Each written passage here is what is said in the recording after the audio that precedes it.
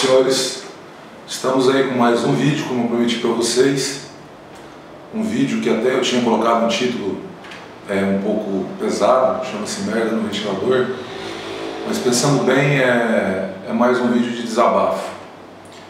Esse vídeo eu vou estar falando diretamente para o consumidor, e, mas eu acho que principalmente eu quero dirigir esse vídeo ao Ministério Público, quero dirigir esse vídeo ao Judiciário, eu quero dirigir esse vídeo aos juízes que estão com as liminares das empresas que entraram na justiça contra mim, porque eu acho que chegou num ponto que às vezes quando você tem um ideal, que você acredita naquilo que você está fazendo, que você luta é, por algo que é justo, por algo que é correto, por algo que é honesto, é, você tem que tomar algumas medidas, é, vamos assim dizer,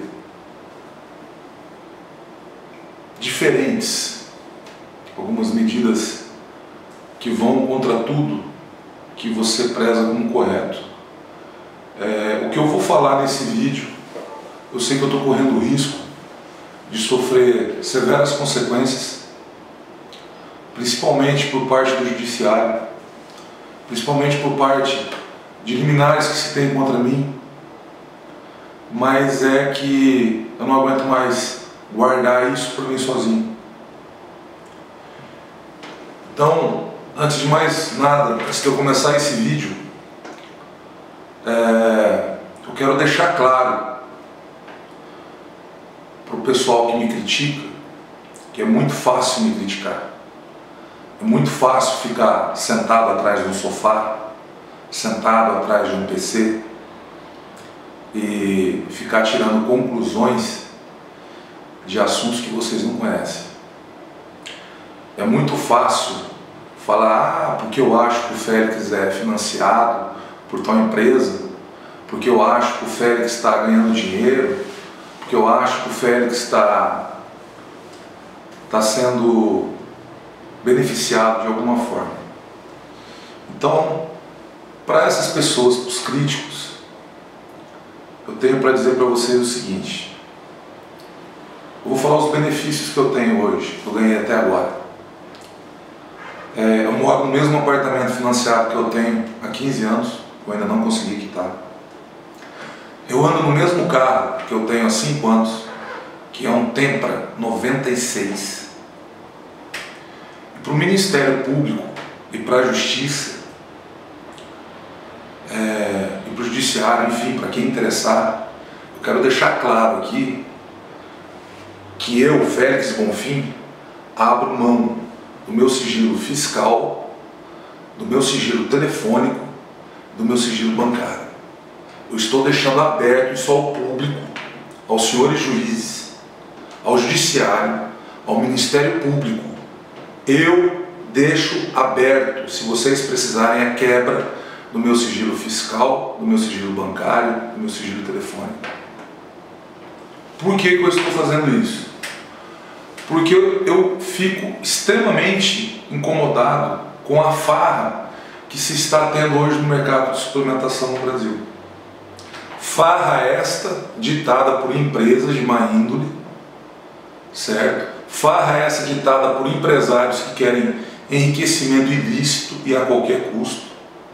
Farra essa ditada por pessoas que querem enganar consumidores, que querem é, induzir profissionais médicos, nutrólogos, nutricionistas ao erro, por simplesmente fabricarem, com perdão da palavra, senhor juiz e judiciário, porcarias no mercado. É, eu fiz um trabalho há cerca de um ano, isso já vem tendo uma conotação de âmbito nacional, que gerou até uma audiência no Congresso Nacional. Gerou algumas ações da Anvisa, que não foram suficientes, do meu ponto de vista foram até amadoras, e depois eu vou estar falando isso. Mas o que eu quero dizer, principalmente aos senhores juízes, é que eu ainda acho que vale a pena ser honesto que vale a pena ser justo, que vale a pena acreditar no ideal. eu espero que os senhores mantenham o meu ideal firme é, e peço desculpas se eu vou é, desobedecer agora alguma liminar.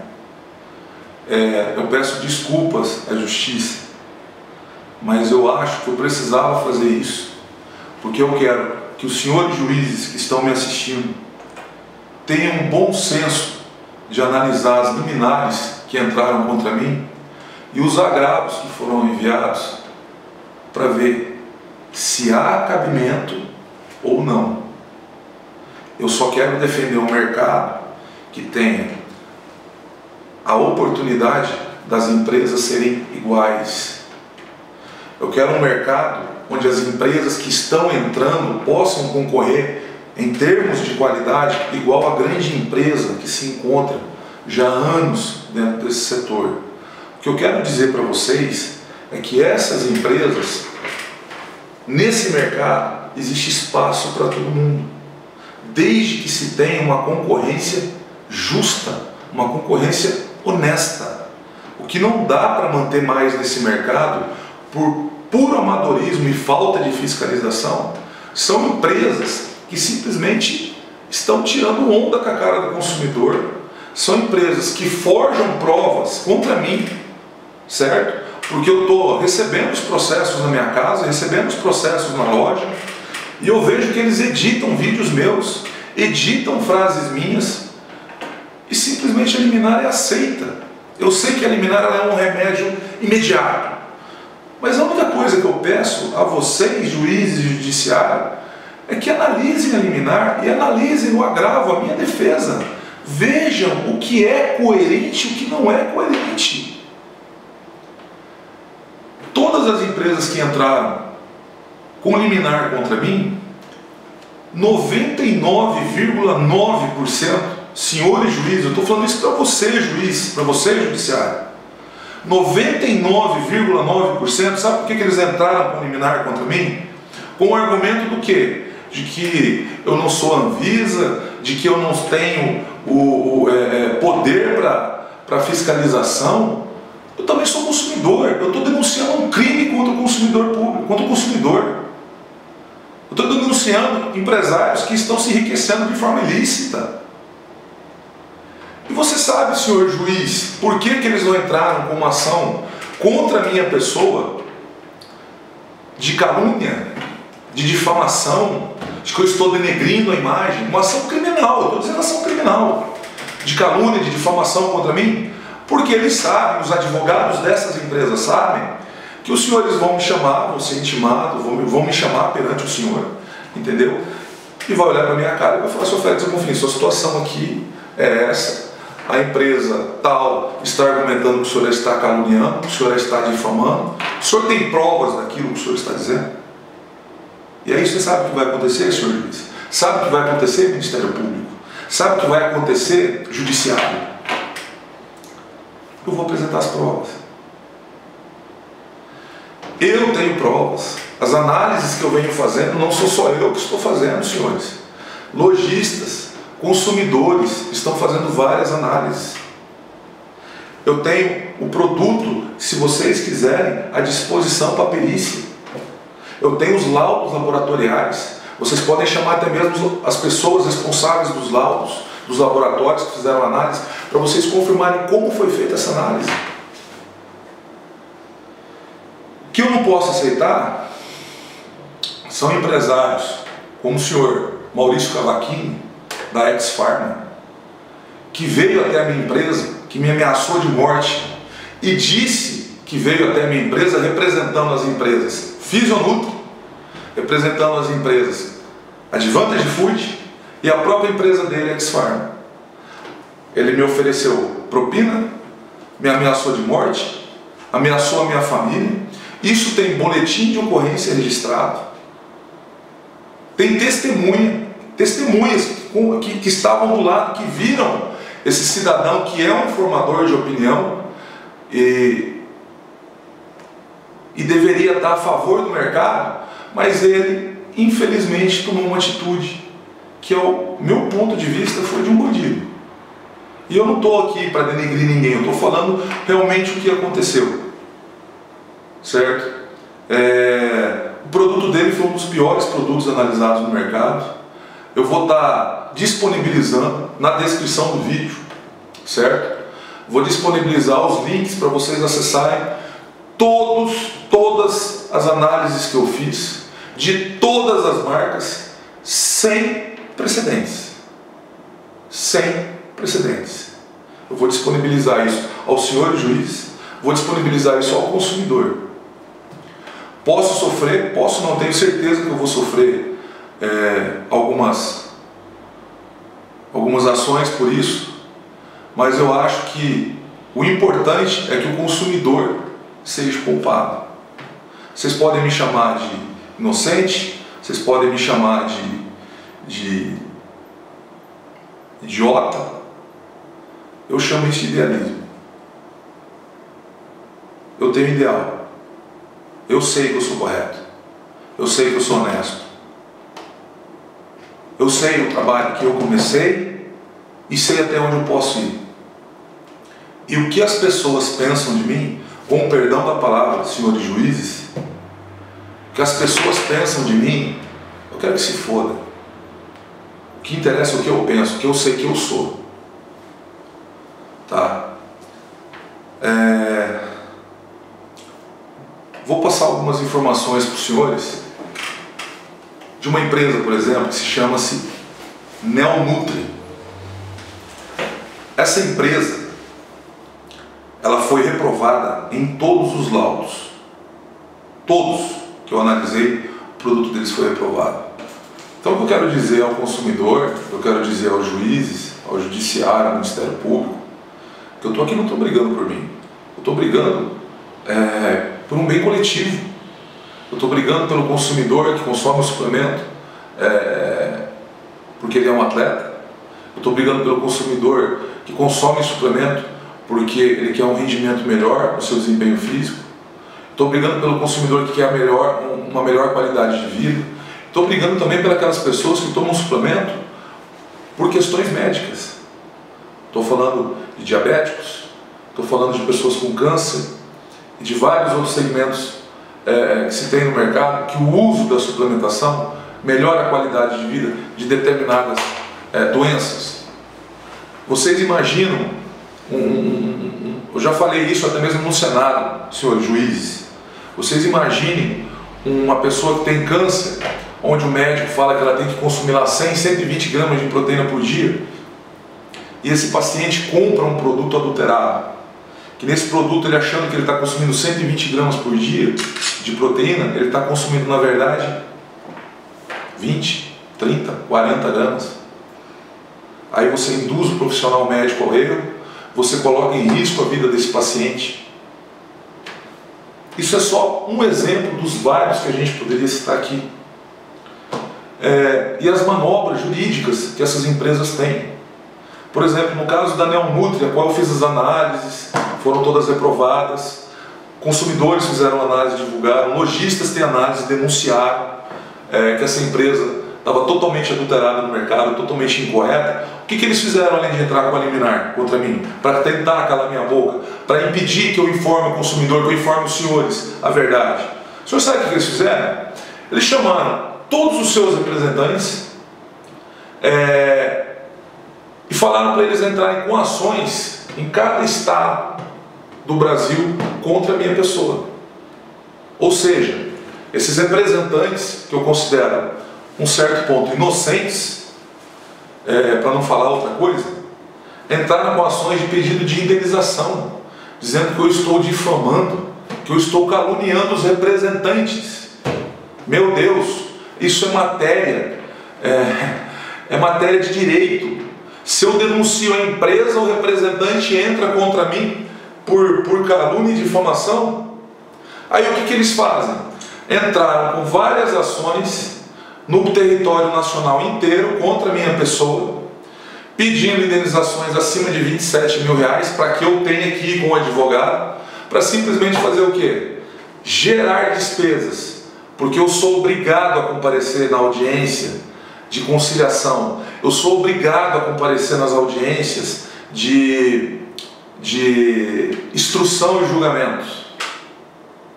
Ou seja, fazer com que eu tenha dispêndio, gastos em cima disso. Só que isso é um tiro que vai sair pela culatra, porque de todas essas ações desses representantes que já foram julgados por outras empresas, eu não perdi nenhuma. E agora, aqueles representantes que perderam as ações contra mim, eu vou entrar contra eles. E a minha pergunta é: será que a Neonutri ou as outras empresas que estão com esse procedimento vão pagar a sua despesa, senhor representante? Vão pagar o seu advogado? Vão pagar os custos que você vai ter? Porque você também vai ter que vir aqui onde eu estou para responder. E uma informação que eu gostaria de dar aos representantes que entraram é, com um pedido de indenização em cima de mim por parte da Neonutri. Já é de conhecimento notório do mercado de suplementação no Brasil que a Neonutri está falida, senhores. Exatamente. Essa informação não é passada ao consumidor porque se corre entre os bastidores. A Neonutri, que se encontra em Minas Gerais, está falida. O, senhor, o seu presidente, o senhor Juliano Moreno, foi afastado da empresa. Ele não responde mais pela Neonutri. Eles contrataram uma empresa é, especialista em auditoria e consultoria para tentar resgatar a Neonutri é, da falência extrajudicial que eles já têm. Por quê? Se você consultar a CNPJ da empresa Neonutri junto ao o, o, o Serasa até pouco tempo atrás, você vai ver que existem é, execuções fiscais federais que estão já em torno de 3 milhões.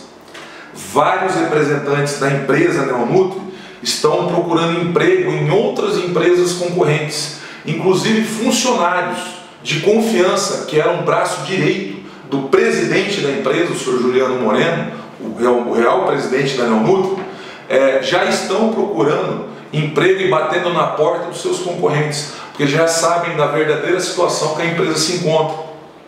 Então você lojista que está vendo esse vídeo, você consumidor que está vendo esse vídeo, você vai começar a descobrir por que os produtos da Neonutri caíram de preço tão rapidamente. Porque eles não estão conseguindo pagar as contas.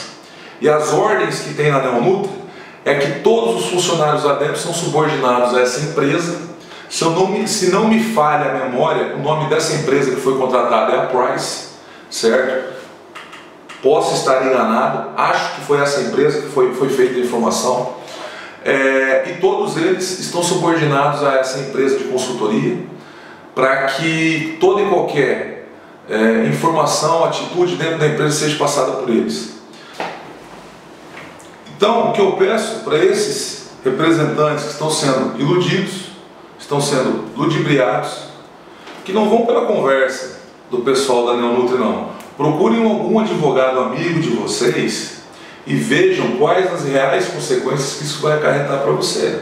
Porque teve muito representante que, de, que depois de ter passado a audiência, que veio conversar comigo, que eu falei, olha, eu não tenho intenção de prejudicar representante nenhum, só que toda, reação, toda ação leva uma reação. E o meu advogado explicou para ele as consequências que, que isso vai acarretar para eles. Alguns acabaram desistindo dessas ações. Mas não tem problema, eu vou responder uma por uma, porque eu vou fazer questão de entrar contra esses mesmos representantes que estão sendo ludibriados, porque muitos estão entrando de má fé achando que vão ganhar alguma coisa. Sabem que não vão ganhar nada na ação, na, na justiça, achando que a empresa vai pagar algum bônus, alguma bonificação para vocês. E não vai. No caso da Neonutri, eu quero ver uma empresa falida, porque a Neonutri está falida, certo? É, muito atleta que até então antes é, ficava defendendo a empresa, dizendo que a Neonutri é isso, que a Neonutri é aquilo, que o Félix não está querendo denegrir a imagem das empresas, que o Félix é pago para denegrir a imagem das grandes empresas, das concorrentes. Eu quero ver esses mesmos atletas, na hora que tomarem um pé na bunda, a grande verdade é eles vão tomar um pé na bunda, certo? Vocês vão ficar desempregados e vão pedir pinico para os concorrentes. Aí eu quero ver se vocês vão ter vergonha na cara de abaixar a cabeça, enfiar o dedinho na boca, enfiar o rabinho no meio das pernas, entendeu? E lá bater na porta do concorrente, ô, oh, Neonutri faliu, tô, tô vindo aqui pedir uma oportunidade, um emprego. né? Aí, aí eu te pergunto aos senhores atletas, treinadores, né? Onde é que fica o respeito com o seu fã? Com aquele rapaz, com aquele jovem que segue você, que admira você? Onde é que fica o seu respeito com ele? Fica no lixo, né? É complicado, é complicado. É, peço desculpas se eu começar a me alterar. É, como eu falei, esse, esse vídeo é um desabafo. É um desabafo. Porque revolta.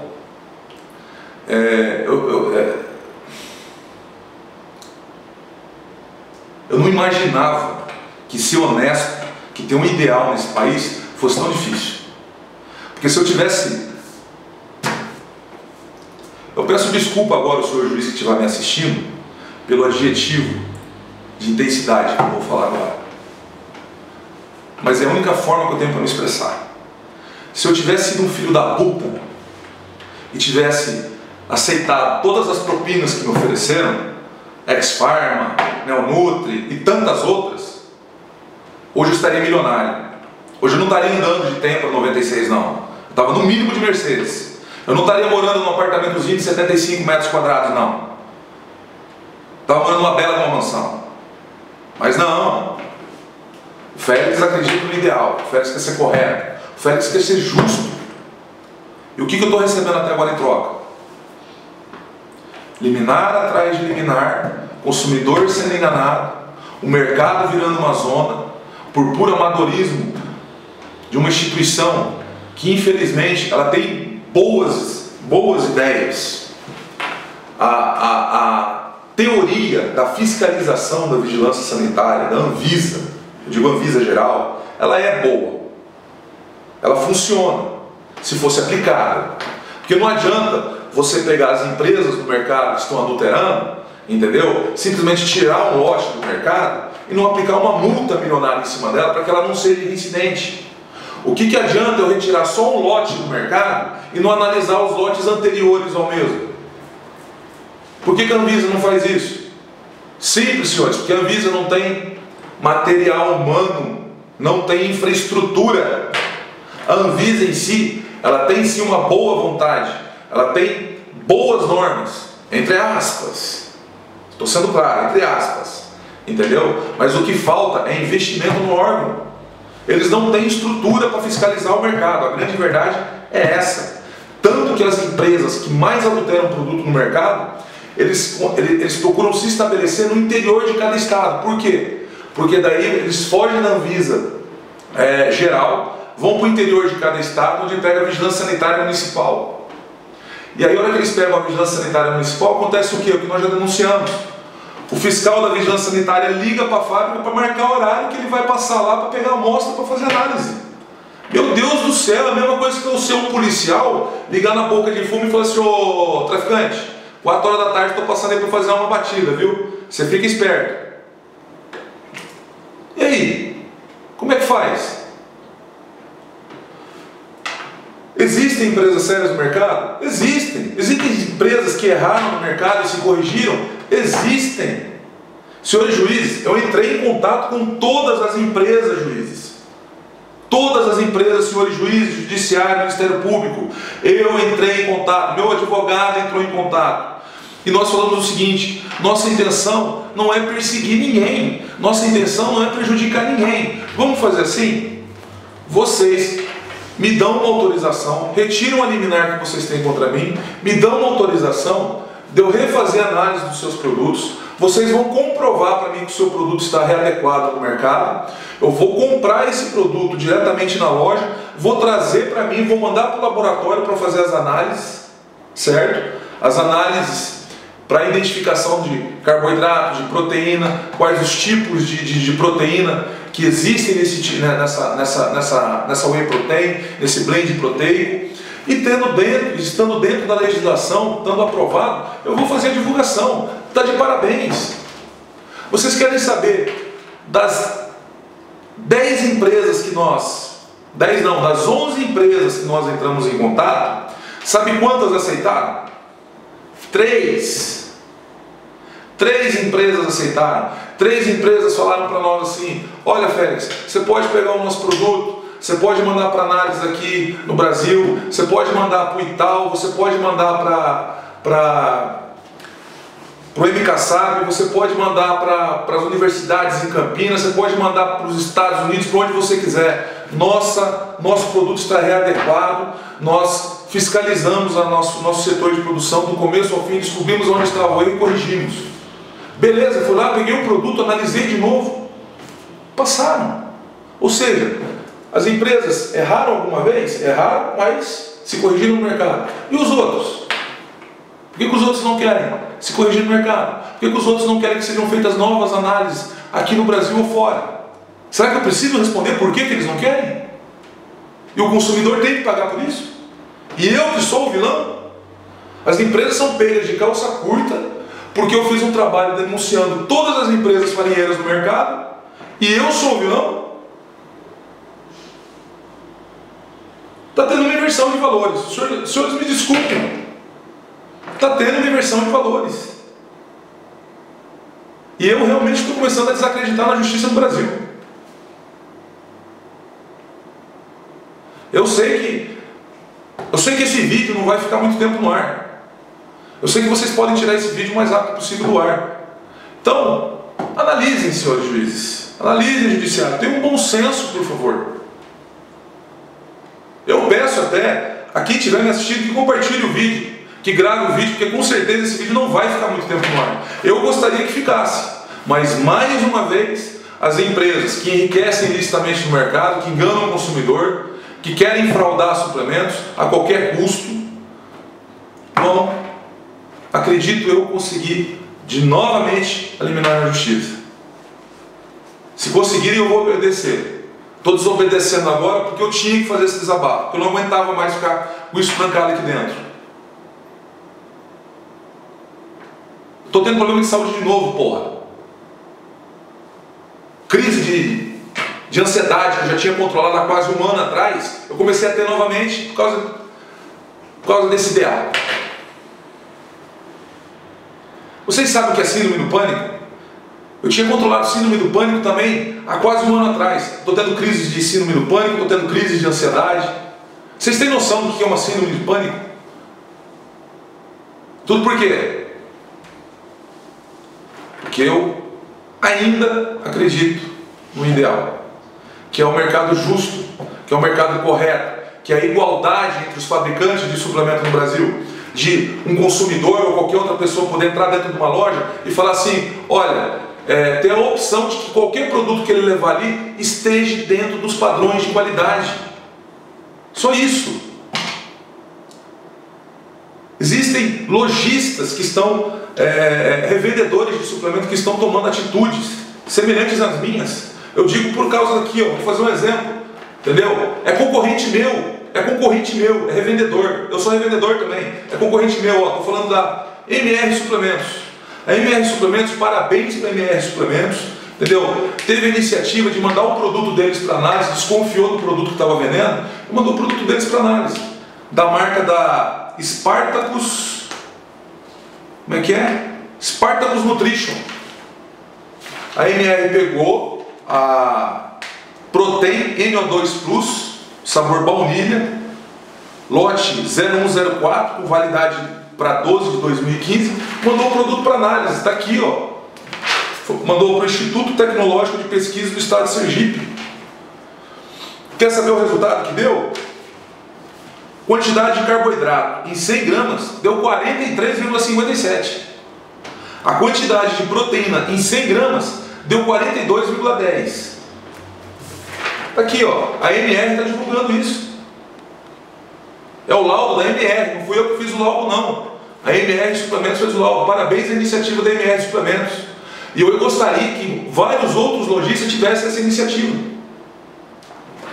Outro laudo que eles fizeram também da Blend Isolate Protein, sabor chocolate. O produto apresentou na dose de 100 gramas 35,6 gramas de proteína. Na dose de 100 gramas. Parabéns, MR, pela atitude. Quando eu falo de empresas sérias, está aqui mais um laudo que chegou para mim de BCA. Esse laudo aqui de BCA é da ADS Laboratório, para quem não sabe, Atlética Nutrition, né, mais conhecido como Atlética Nutrition, mas da ADS Laboratório. Foi analisado o BCA deles, passou com louvor. BCA da Atlética passou com louvor. Assim como a Solares, eu já divulguei laudos da Solares aqui, que a Solares também foi aprovada. A Solares se readequou ao mercado. A DNA simplesmente aceitou o convite que eu fiz a ela. Félix, pode analisar os nossos produtos. Mandei analisar os produtos da DNA. Não chegou o resultado para mim divulgar para vocês ainda, mas aceitaram. Quer dizer, são empresas que, se alguma vez cometeram algum erro, agora estão se readequando ao mercado. Ninguém é perfeito, todo mundo é, mas estão se readequando ao mercado. Só que a maioria de quem errou ainda acha que o consumidor é palhaço, ainda acha que consegue manipular o judiciário, que consegue forjar prova editando vídeo meu, colocando entre aspas dizeres incompletos de frases que eu de alguma forma falei, de uma forma mais emotiva. Não dá, gente. Eu vou colocar no link aqui embaixo agora a descrição de todos os laudos, de todas as empresas que entraram, que tem liminar ou não tem liminar contra mim. Eu vou divulgar isso agora. E se a justiça achar que eu estou errado em divulgar e informar o consumidor, está no link de descrição, onde vocês vão poder acessar, vão poder fazer download, vão poder se informar. E eu espero sinceramente que vocês divulguem isso porque, infelizmente, eu moro num país que chama-se Brasil. Infelizmente, eu moro num país que a justiça ela demora para andar. Ela anda, para quem tem. A verdade é essa. Se você tem excelentes advogados, se você tem poder financeiro é, é, é elevado, as coisas funcionam, as coisas andam. Infelizmente não é meu caso. Só queria dizer que eu não sou covarde. Queria dizer para a Neonutri, queria dizer para a Fisionutri, para a Ex-Pharma, para a Band Nutri e outras tantas empresas que foram pegas de calça curta com produtos irregulares no mercado, que eu não sou covarde. Eu vou até o final. Eu vou até o final.